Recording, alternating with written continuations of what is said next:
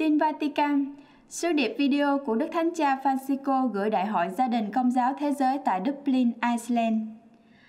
Trong video, Đức Thánh Cha Francisco cầu mong cuộc gặp gỡ kỳ chính của các gia đình công giáo thế giới tại Dublin là nguồn mạch khích lệ các gia đình trên thế giới để đương đầu với những thách đố ngày nay. Đức Thánh Cha nói, cuộc gặp gỡ trên bình diện thế giới này là một cuộc cử hành kế hoạch đẹp đẽ của Thiên Chúa về gia đình. Đó cũng là một dịp để các gia đình đến từ mọi nơi trên thế giới gặp gỡ và nâng đỡ nhau trong cuộc sống ơn gọi đặc thù của mình.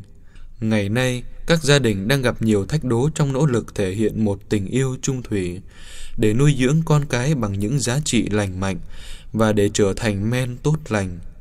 Yêu thương và chăm sóc lẫn nhau trong cộng đoàn rộng lớn hơn. Tôi hy vọng rằng cơ hội này có thể là nguồn mạch tái khích lệ các gia đình ở các nơi trên thế giới, đặc biệt là các gia đình sẽ hiện diện tại Dublin. Ước gì biến cố này có thể nhắc nhở chúng ta về chỗ đứng quan trọng của gia đình trong đời sống xã hội và trong việc xây dựng một tương lai tốt đẹp hơn cho người trẻ. Tôi xin mỗi người cầu nguyện để cuộc gặp gỡ này trở thành một thời điểm vui mừng và thanh thản, một dấu chỉ yêu thương dịu dàng của Chúa Giêsu đối với tất cả các gia đình và trong thực tế là đối với mỗi người con của Thiên Chúa. Cuối cùng, Đức Thánh Cha Francisco cam kết gần gũi và cầu nguyện cho mọi người và mời gọi mọi người cầu nguyện cho Ngài.